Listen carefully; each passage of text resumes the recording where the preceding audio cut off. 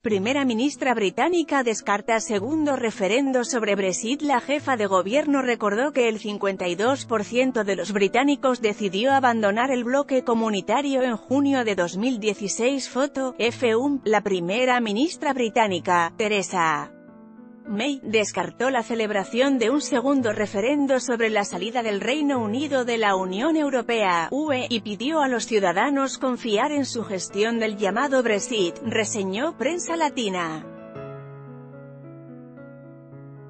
En un artículo publicado en The Sunday Telegraph, la jefa de gobierno recordó que el 52% de los británicos decidió abandonar el bloque comunitario en junio de 2016 y realizar una segunda consulta sería una traición a esas personas y a la democracia.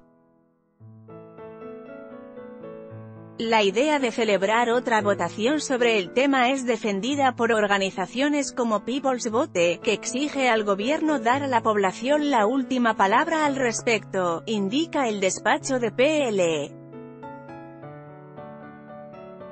Según un estudio reciente de la firma YouGov, el 50% de los británicos considera que si la administración de May no llega a un acuerdo con la UE, los ciudadanos deberían decidir si desea seguir con el proceso de separación o cancelarlo.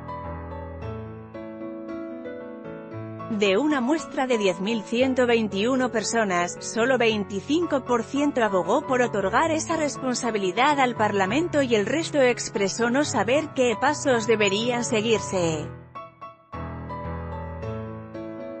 Por otra parte, más de 4.646% respondieron que, si la consulta sobre el tema tuviera lugar hoy, votarían por permanecer en la alianza comunitaria, mientras 4.080, 40%, respaldarían el divorcio.